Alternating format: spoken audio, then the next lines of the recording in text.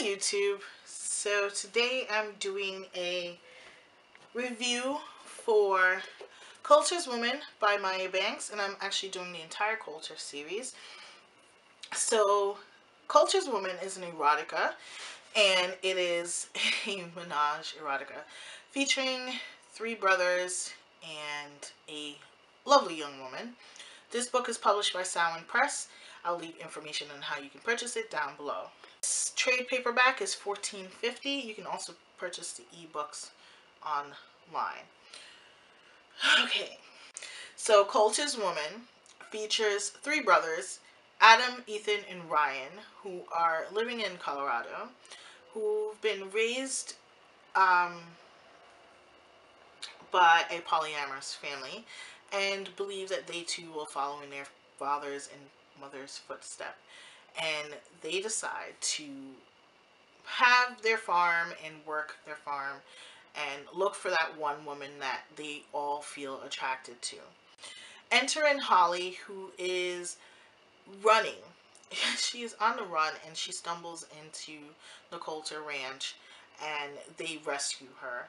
And from there on, we get the story first Adam finds her, then Ethan like loses his mind over her, and Ryan goes ape shit.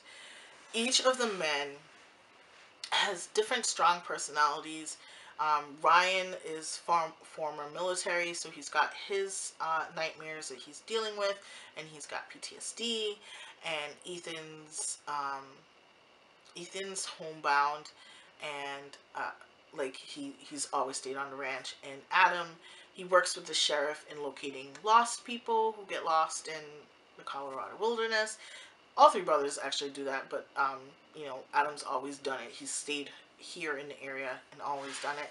Holly is a really good character because she is at first extremely shy and very quiet. Um, she's traumatized from her tragedy and she's on the run and doesn't know who she can trust and slowly the brothers give her a home and slowly she thinks her danger is gone away. Then things begin to happen around town and on the ranch and they know that Holly is once again in danger and it's up to the brothers to make a difference and help her out.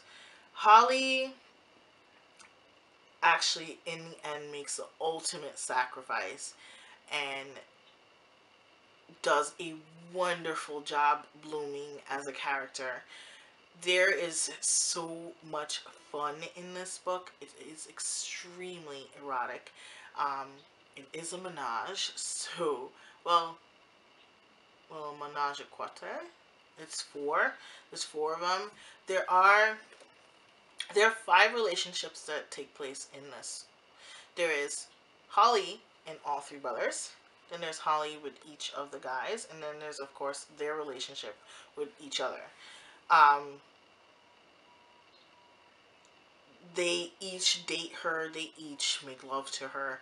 Um, but they are each separate relationships as well as being a huge group relationship. Um, I really enjoyed this book. It's one of my first, it was one of my first by Maya Banks, and I thoroughly enjoyed it. I, like, read every single one of them except for the last one, which is the Dorda story. And I am holding off on reading it just because I don't want the series to end. Like, I really enjoyed it. So I would highly recommend this. If you're looking for a really good menage book, definitely check out Colters' Woman by uh, Maya Banks. Um, definitely check out Samhain Publishing, if you, especially if you have an e-reader. Um, they do have them in books, of course, as you can see. Especially if you have an e-reader because they tend to be cheaper than Amazon would be. So definitely check them out. I love them. So yeah, I'll leave links down below. You guys enjoy.